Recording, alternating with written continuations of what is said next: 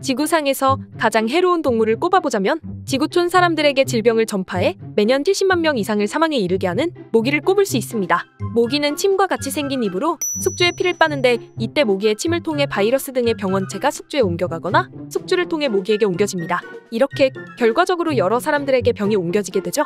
이에 과학자들은 모기를 통한 질병 확산을 억제하기 위해 여러 방식으로 연구를 진행하고 있으며 그 중에서도 아주 흥미로운 연구 결과가 과학정월셀에서 소개됐었는데 바로 인간들이 먹는 다이어트 약으로 모기들의 질병 확산을 억제할 수 있다는 이론입니다. 피를 빠는 암모기는 인간처럼 식사 후 몇 시간이 지나 허기를 느끼는 것과 달리 모기는 흡혈 후 며칠이 지나도 허기를 느끼지 않는다는 특징을 갖고 있답니다. 당연히도 허기를 느끼지 않을 때는 흡혈에 대한 관심 또한 줄어들게 되죠. 과학자들은 이 특징을 이용해 사람이 먹는 다이어트 약을 모기에게 투여해봤고 다이어트 약을 먹은 모기들은 다이어트 약을 통해 배가 부르다는 착각을 하게 되어 한동안 흡혈을 하려는 의지를 보이지 않았다고 합니다. 과학자들은 이러한 현상이 모기들의 질병 확산율을 낮추는데 충분히 도움이 될 것이라 기대했고 계속적으로 연구가 진행되고 있다고 합니다. 다이어트를 위해 개발한 약이 모기들의 질병 확산을 억제하는 데 도움을 주게 되다니 정말 세상 일은 알다가도 모르겠지 않나요?